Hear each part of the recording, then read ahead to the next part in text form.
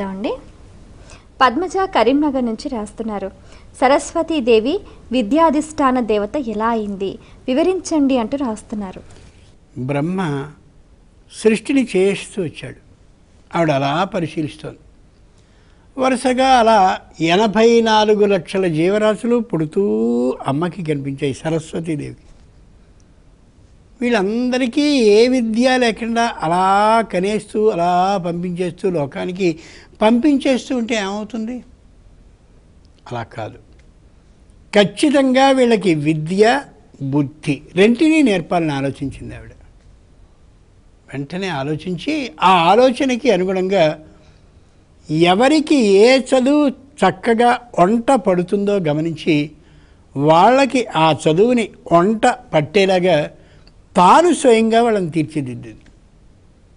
నిజంగా ఇంట్లో కూడా దీన్ని సంకేత రూపంగా తీసుకుంటే తండ్రి ద్వారా కనబడ్డటువంటి పిల్లలకి నిజమైన చదువుని చెప్పగలిగిన శక్తిమతి గొప్పది ఎవరంటే తల్లే.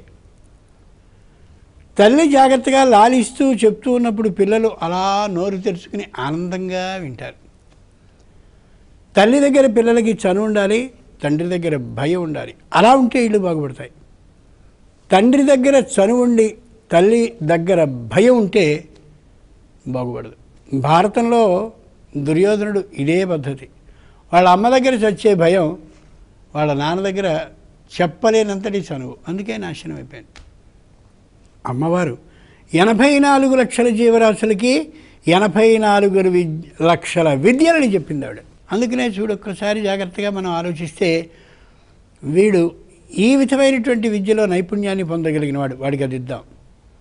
ఇతను సంగీతంలో ఇతడు సాహిత్యంలో ఇతడు ఫలాని దాంట్లో అతడు ఫలాని దాంట్లో ఆమె దీంట్లో ఈమె దీంట్లో అని నిర్ణయిస్తుంది. అలా నిర్ణయించగలిగిన శక్తి ఎవరికి ఉంటుంది? తాను దాంట్లో అమోఘమైన ప్రావీణ్యం కలిగినది అయినప్పుడు మాత్రమే కదా. అంచేత పశువులకి పక్షులకి అన్నిటికీ ఏ విధంగా విద్యని ఇయ్యాలో గమనించిన ఆవిడ అలాంటి విద్యని ఇస్తుంది. గావ పశ్యంతి గంధేన. జంతువులు ఉన్నాయి వాళ్ళ దగ్గరికి వెళ్ళి ఇది తినకూడదే అనారోగ్యం కలుగుతుంది అది తింటే ఆరోగ్యం కలుగుతుంది. ఏమీ చెప్పక్కర్లా. ఎవరు చెప్పారు?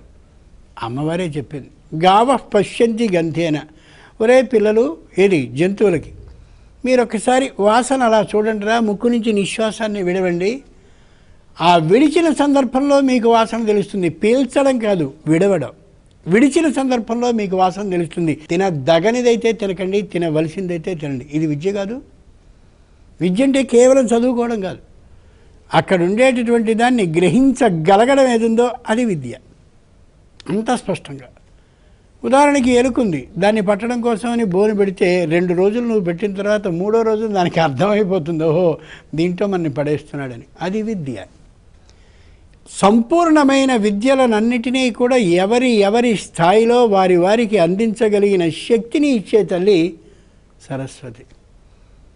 ఇలా ఎనభై నాలుగు లక్షల జీవరాశులకి కూడా తన భర్త సృష్టించిన వారికి అమోఘమైనటువంటి విద్యని దాంతోపాటు బుద్ధిని అందించింది కాబట్టి ఆవిడ విద్యాధిష్టాత్రిగా ప్రకటింపబడింది. అంతేగా ఇంట్లో ఎవరైతే చదువు చెప్తున్నారో ఆవిడ అబ్బో మా ఇంట్లో ఎదుగురండి ఇవి చదువుల తల్లిగా మాకు అందరికీ చదువులు చెప్తోంది అని అంటారు. అలా బ్రహ్మ భార్య అయినటువంటి సరస్వతి తన మొత్తం వచ్చినటువంటి సంతానానికి అంతటికీ కూడా చదువుని చెప్పి విద్యాధిష్టాత్రిగా అయ్యింది